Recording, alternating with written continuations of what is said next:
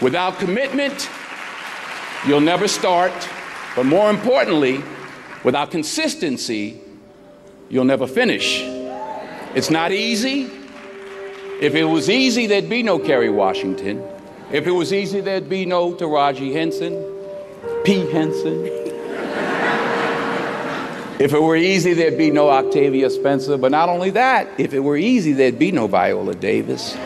If it were easy, there'd be no Mykelti Williamson, no Stephen McKinley Henderson, no Russell Hornsby. If it were easy, there'd be no Denzel Washington. So keep working, keep striving, never give up, fall down seven times, get up eight. Ease is a greater threat to progress than hardship. Ease is a greater threat to progress than hardship. So keep moving, keep growing, keep learning. See you at work.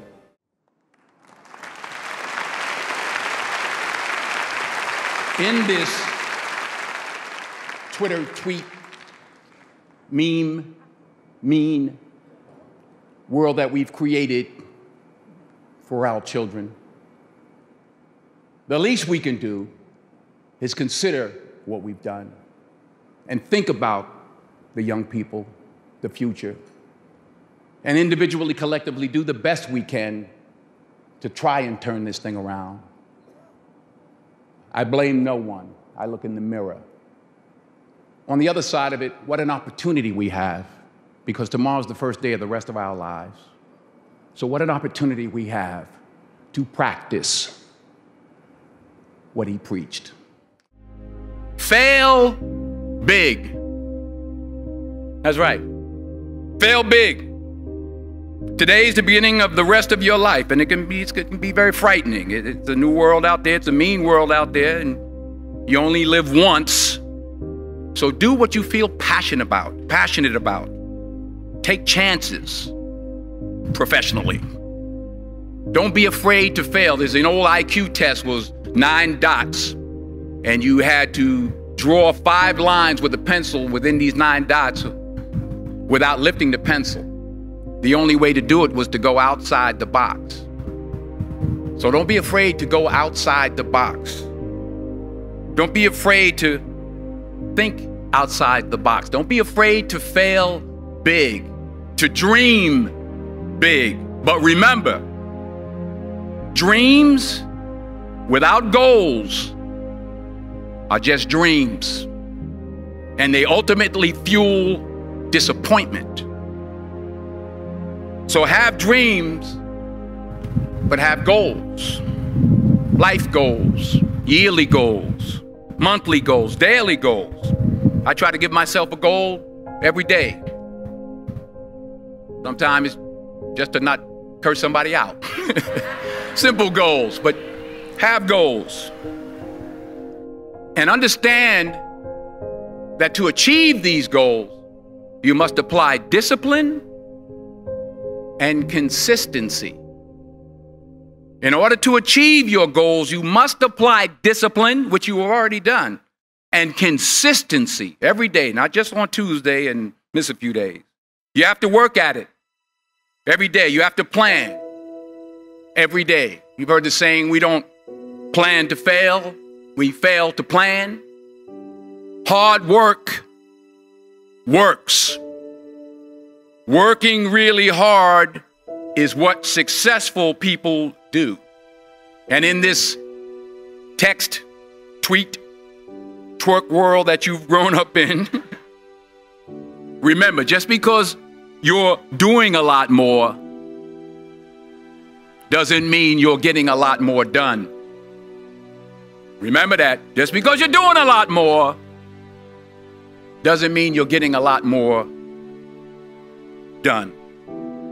Don't confuse movement with progress. My mother told me, she said, yeah, because you can run in place all the time and never get anywhere. So continue to strive, continue to have goals, continue to progress. Say thank you for grace. Thank you for mercy. Thank you for understanding. Thank you for wisdom. Thank you for parents. Thank you for love. Thank you for kindness. Thank you for humility. Thank you for peace. Thank you for prosperity. Say thank you in advance for what's already yours. It's how I live my life. That's why I, why I am, one of the reasons why I am today. Say thank you in advance for what is already yours. True desire in the heart for anything good is God's proof to you sent beforehand to indicate that it's yours already. I'll say it again. True desire in the heart, that itch that you have, whatever it is you want to do, that thing that you want to do to help others and to, to grow and to make money, that desire, that itch, that's God's proof to you, sent beforehand already to indicate that it's yours. And anything you want good, you can have. So claim it. Work hard to get it. When you get it, reach back, pull someone else up. Each one, teach one. Don't just aspire to make a living, aspire to make a difference. I found that nothing in life is worthwhile unless you take risks. Nothing. Nelson Mandela said, There is no passion to be found playing small and settling for a life that's less than the one you're capable of living. Now, I'm sure in your experiences in school and applying to college and picking your major and deciding what you want to do with life, I'm sure people have told you to make sure you have something to fall back on. Make sure you got something to fall back on, honey. But I never understood that concept, having something to fall back on. If I'm going to fall, I don't want to fall back on anything except my faith. I want to fall forward I figure at least this way I'll see what I'm going to hit. Fall forward. This is what I mean. Reggie Jackson struck out 2,600 times in his career, the most in the history of baseball. But you don't hear about the strikeouts. People remember the home runs. Fall forward. Thomas Edison conducted 1,000 failed experiments. Did you know that? I didn't know that because the 1001st was the light bulb. Fall forward. Every failed experiment is one step closer to success. You've got to take risks, and I'm sure you've probably heard that before, but I want to talk to you about why that's so important. I got three reasons, and then you can pick up your iPhones. First, you will fail at some point in your life. Accept it. You will lose. You will embarrass yourself. You will suck at something. There's no doubt about it. And I know that's probably not a traditional message for a graduation ceremony, but hey, I'm telling you, embrace it because it's inevitable. And I should know. In the acting business, you fail all the time. Early on in my career, I auditioned for a part in a Broadway musical perfect role for me, I thought, except for the fact that I can't sing. I didn't get the job. But here's the thing I didn't quit, I didn't fall back. I walked out of there to prepare for the next audition, and the next audition, and the next audition. I prayed. I prayed and I prayed. But I continued to fail and fail and fail. But it didn't matter because you know what? There's an old saying you hang around the barbershop long enough, sooner or later you're going to get a haircut. So you will catch a break, and I did catch a break. Last year, I did a play called Fences on Broadway. Someone talked about it won the Tony Award. I, and I didn't have to sing, by the way. but here's the kicker it was at the Cort Theater. It was at the same theater that I failed that first audition 30 years prior. The, the point is, and I'll pick up the pace, the point is every graduate here today has the training and the talent to succeed. But do you have the guts to fail? Here's my second point about failure.